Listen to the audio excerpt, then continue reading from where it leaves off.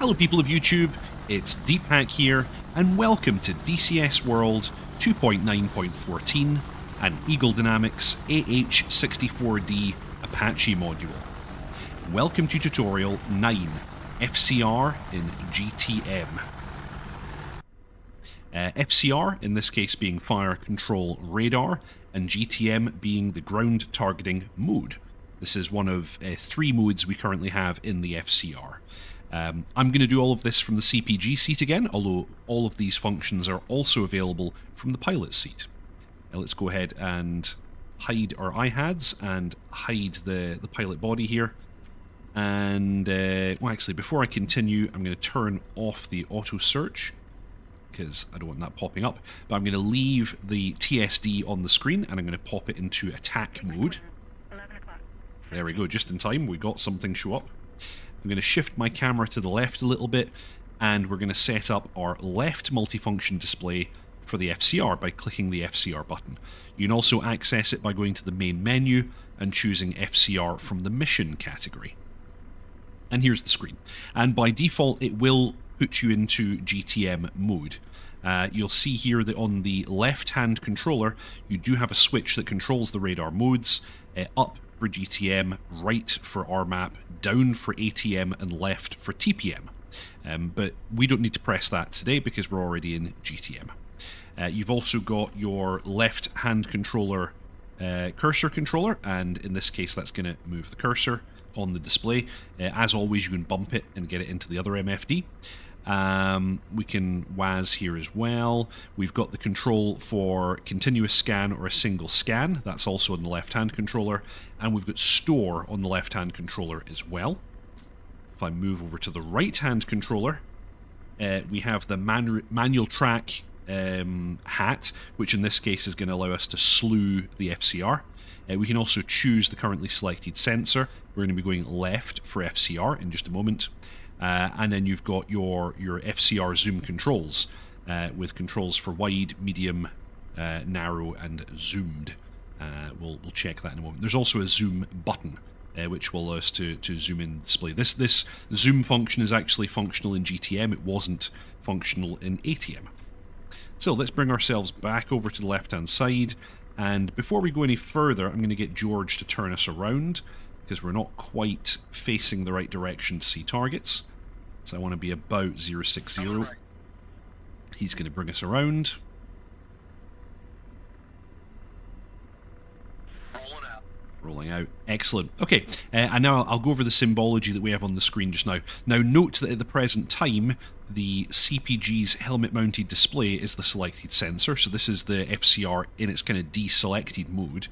Uh, we have the controls for turning the C-scope on and off. We've got heading across the top.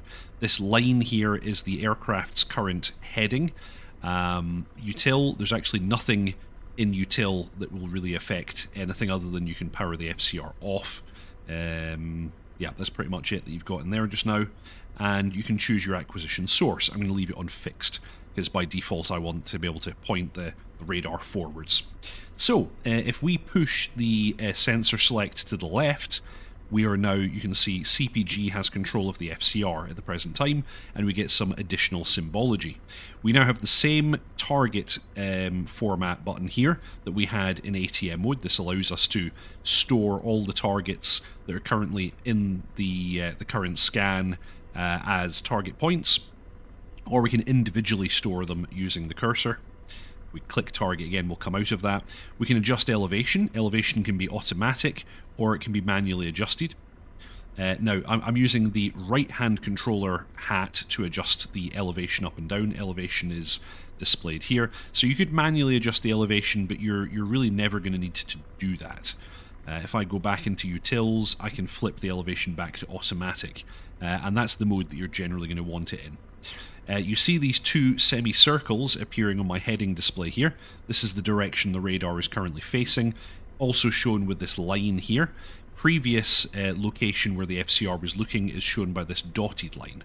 And if I go ahead and, and hit um, slave and then deslave, it's going to point straight forwards because our current acquisition source is fixed. We also have these controls left and right here to slew the, the radar kind of 45 degrees at a time. Uh, we're going to leave it as it is just now, though.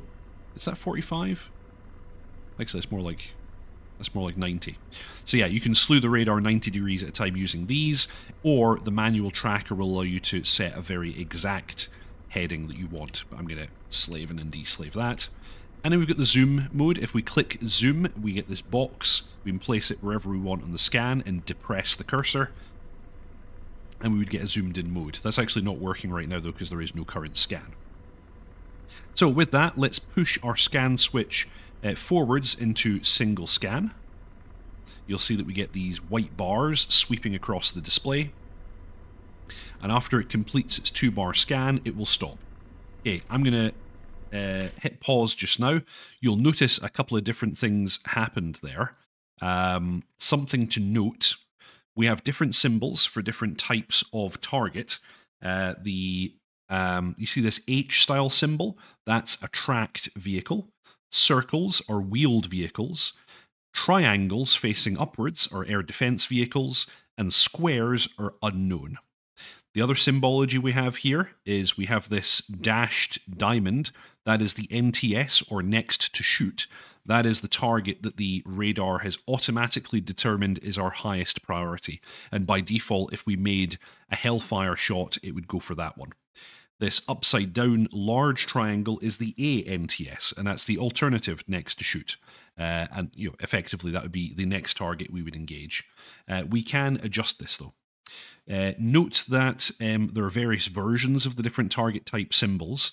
So they can be unfilled, like this one and this one is. So th th these are kind of non-filled symbols. There are filled versions of these symbols, uh, and that will mean that they are uh, within uh, well between 500 meters and 1500 meters. So basically they're they're close. That that makes them kind of a higher priority. These empty symbols are more than 1500 meters away. Note the maximum range of the radar is 8000 meters or 8 kilometers. So you've got 8 6 4 2 here. So if they were really really close to us they would they would show up as filled. And if they're filled with a dot as these two wheeled vehicles are that means that they're moving. Now you'll note that these two wheeled vehicles started off as high intensity and then they've gone dull as they are just now. For moving targets, that basically means that they're, um, what would you say exactly? They've probably moved since the scan. So moving vehicles will go dull after five seconds uh, from when the scan completed. Non moving or stationary vehicles, as all the rest of these are, uh, they'll do that after 30 seconds.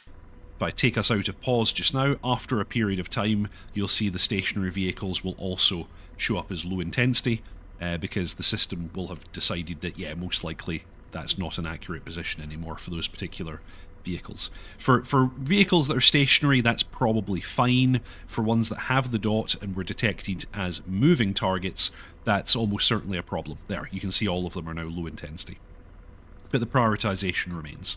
If I want to alter the prioritization, I can do so with the cursor. I can move the cursor over one of these vehicles, and I can depress the cursor, and it will move the next to shoot symbol to that particular vehicle. Now, we're not going to cover uh, the integration between the FCR and the TADS today, but generally speaking, you would then want to check these vehicles using the TADS as well. Uh, that could be simplified using the C-scope option here by box C-scope and look at the TADS, you'll see that all the symbols that we have in the FCR are now overlaid on the TADS. The same would be true for the helmet-mounted display uh, if we were using that as well. So just be aware of that. Uh, most of the time you're probably going to want to keep the C-scope mode turned on. Uh, RFHO is for radio frequency handoff, that's data link, we're not going to cover that today. Um, and yeah, again, acquisition source.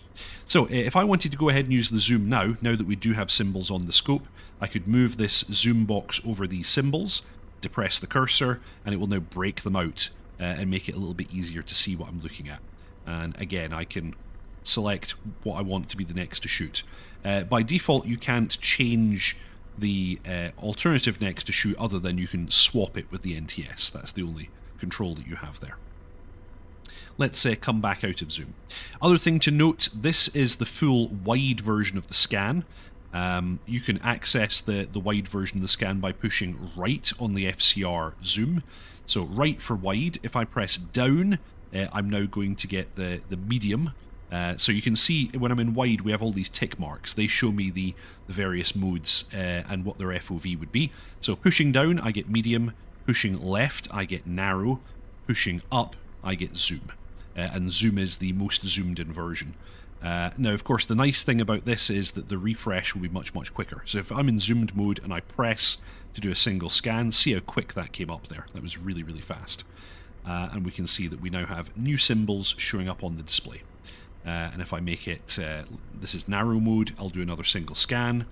Oop, there we go. And wait five seconds and these moving targets will go dim. There we go, because we now have less confidence about their current position than we did before. So if I put it into continuous, we will continue to get updates on the positions and you'll see the vehicles that are shown as moving are in fact moving. We can see those symbols continuing to move. Uh, and I could steer uh, actually, I've got to stop the scan first. I could steer the radar a little bit and then start the scan again. And there you go. You can see they appear in slightly different positions within the scan volume now. And I'll stop that scan. Okay, I'm going to bump it back into the wide and do one more full scan in the wide mode. Of course, this takes much longer, but we get a nice uh, wide field of view. Excellent. Now, uh, if I wanted to store the positions of any of these, let's say that I'm particularly interested in this wheeled vehicle over here, I can box target, I can move my cursor over that target and depress. You'll notice it says here it's created target 07 and the next one that I would create would be target 08. I can now get rid of target mode and uh, that's now done there. And if I move across to my right multifunction display, uh, First thing that you'll notice that all the FCR symbols are also shown on the TSD. The other nice thing is the field of view of the FCR is shown on the TSD and you can see here my target symbol for target 07. So we could now reference that later if we wanted to. Uh, and that's kind of quite a handy thing to be able to do. Uh, for example, if I go cursor acquisition and I bump my cursor, there we go. I bumped my cursor over to this side get the oops, get the target 07 symbol, you'll see that now T actually it says T50, that's not what I intended to do. Uh, let's uh, let's try that again. Cursor acquisition T07. There we go. Acquisition source is now T07. I can now unfreeze the display. And uh, if I wanted to slew the TADS to that, I could now do so uh, very, very easily. Uh, I'm currently in the FCR mode, so if I was to slave, and then deslave, the FCR is now centered on that specific target. I could go zoom mode and do a single scan, and I'm now centered down right on that particular target, and I've got myself a nice quick scan.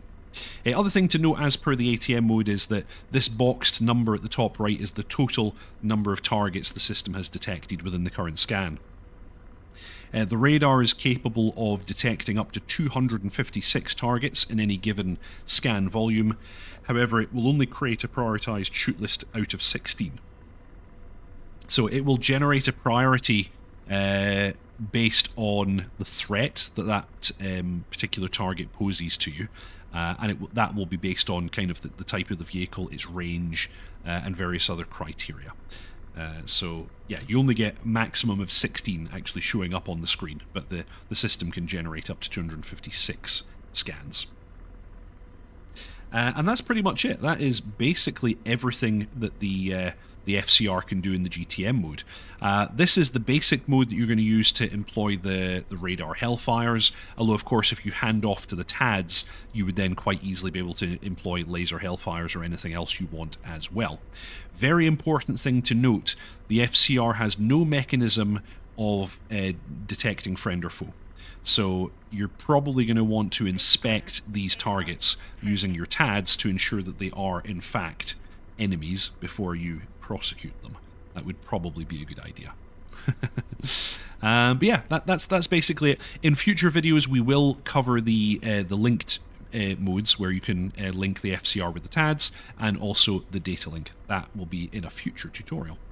I hope you all enjoyed that. Fly safe, and I'll see you all next time.